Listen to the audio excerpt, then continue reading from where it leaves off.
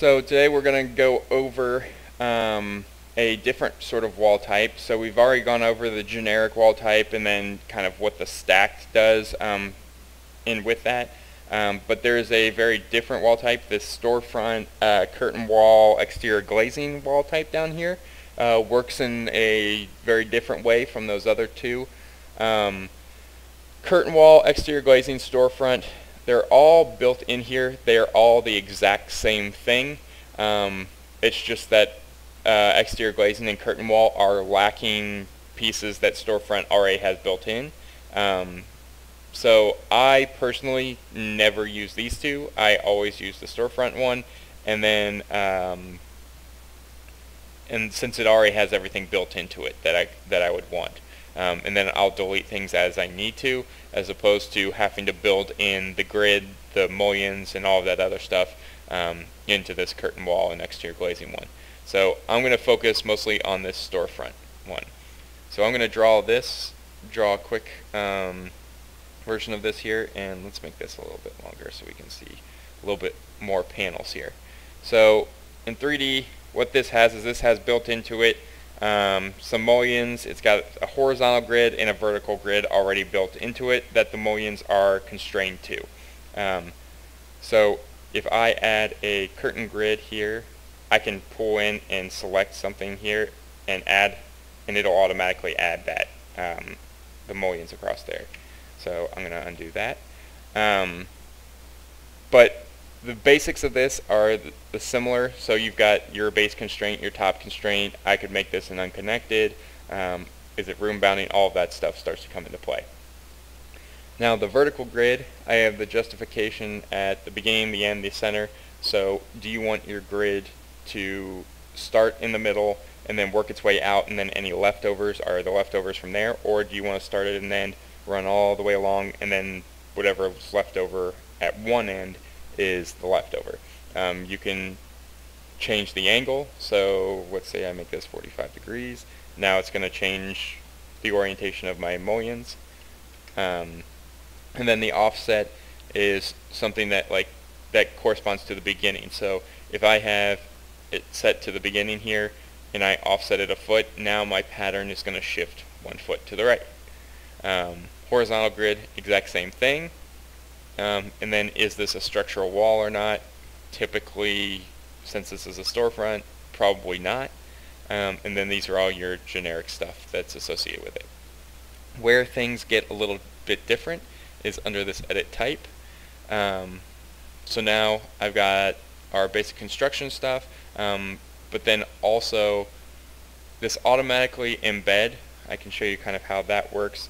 Um, if I create a wall that is not let's say I just have a generic 6 inch wall here and then I'm going to create a storefront. If I draw over the top of this this wall it's going to automatically cut that out.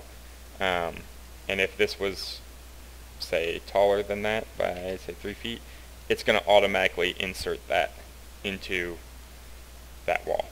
So that is what the automatically embed uh, icon is um, the curtain panel, so right now it's just glazed, so that's just showing that all of these are, the default is that they are glass.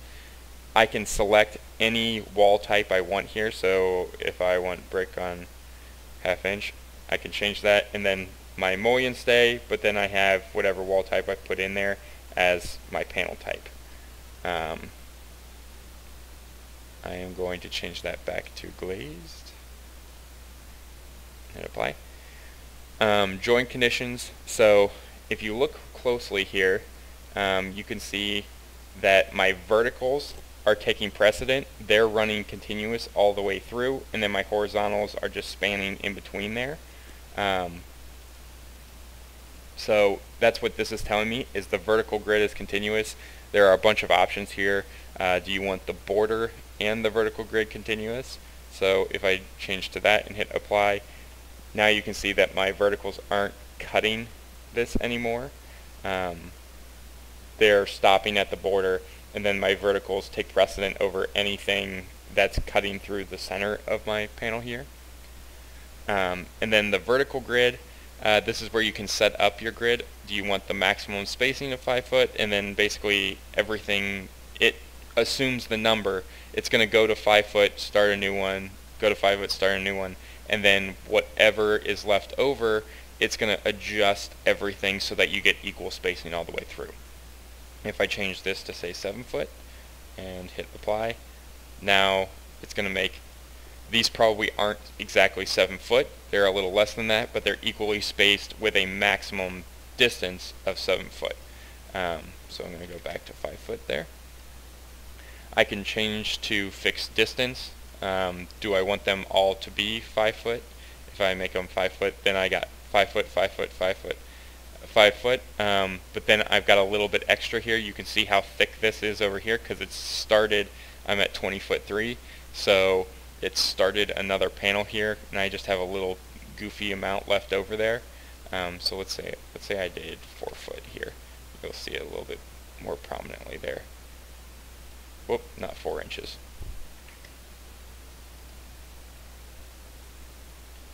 Okay, so here I'm starting to get a little bit more. Um, I still have a little bit of a, a goofy end here. Um, let's make this four and a half foot.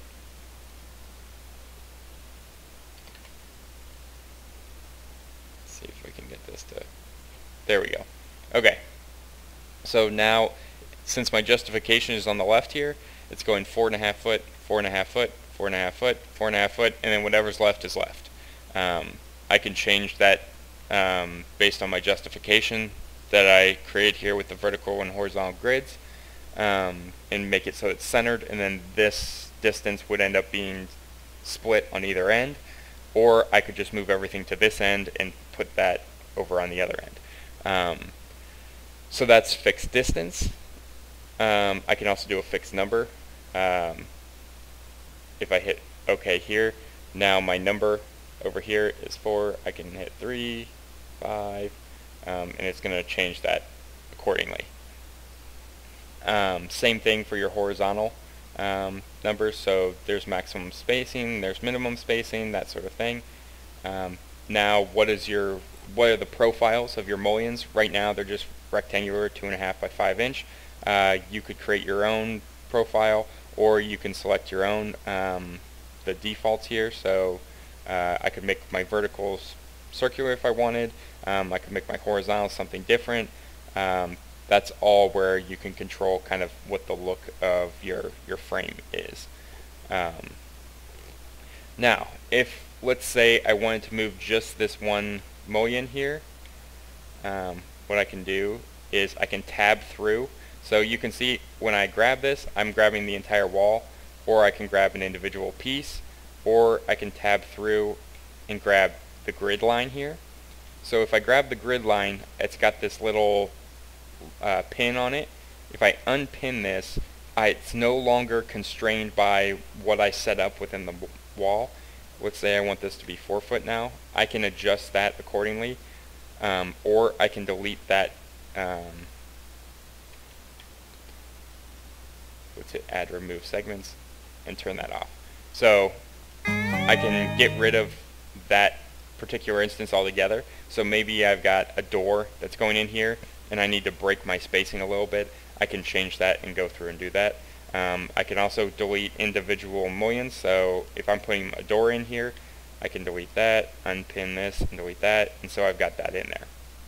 Now, putting doors in storefronts um, is not the way you put them in anywhere else.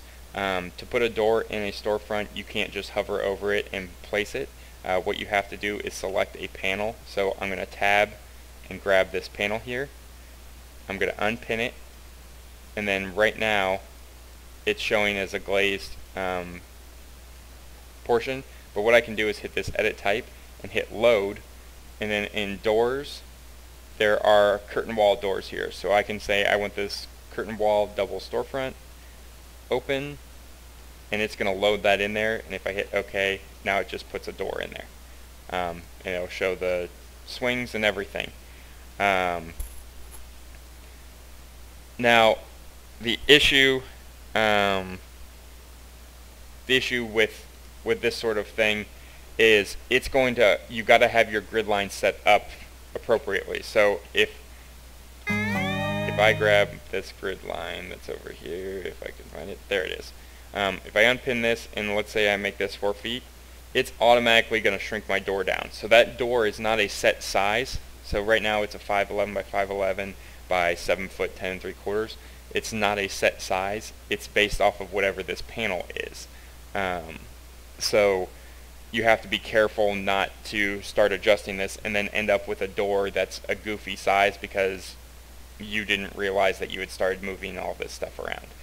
Um, another aspect to this that you can change are you can change individual panels. So this panel you want it to be solid uh, while the rest are glass for whatever reason. Um, you can unpin this and instead of glaze you could make it solid, you could change it to whatever wall type you want, um, all of that sort of stuff. So I could make this one solid and it would go solid versus all the others. Um, so storefronts are one of those things that you've got a generic sort of wall that you draw, but then there's a whole bunch of smaller components um, that you can grab and customize throughout the entire thing. Um, there's these curtain systems and all of that where you can place uh, new grid lines. Um, if I want to place, this one says all segments, so I can place it across the entire thing, or I can say one, one segment, and it'll just go across that one little um, kind of panel there. So you can start placing that sort of stuff and it'll default select whatever frame um, you have for horizontals in there um, and place that mullion on there. So in a um, kind of generic nutshell, that is uh, your storefront system. Um, as I said, curtain walls are the exact same, only in the curtain wall family, it does not have all the mullions and grid and all that already set up. You have to draw all of that on there. So, um, I prefer to stick with this. If you want to run with uh, the curtain wall um, system and then draw it all in yourself, you can be my guest.